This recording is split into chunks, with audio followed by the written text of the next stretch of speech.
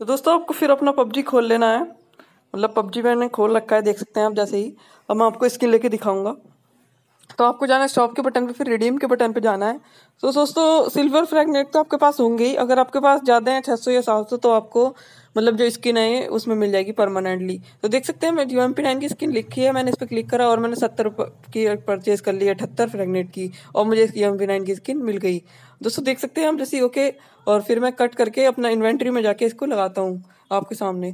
तो जैसे ही मैंने गन के ऑप्शन पर क्लिक करा और एस एम जी कैटेगरी से इस गन को लगाता हूँ उसकी स्किन को। और देख सकते हैं एस एम जी के क्लिक करने के बाद देखते हैं एम पी नाइन पर डॉट आ रहा है।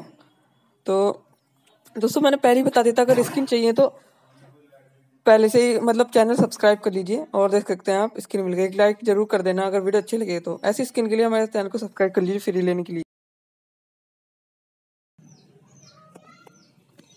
तो दोस्तों, इसके लिए आपको सर्च करना है अपने प्ले स्टोर में जाकर सोलो वीपीएन और सोलो वीपीएन ऐप को आपको इंस्टॉल कर लेना है। तो देख सकते हैं, मेरा पहले से इंस्टॉल है तो आपको इसे ओपन करना है।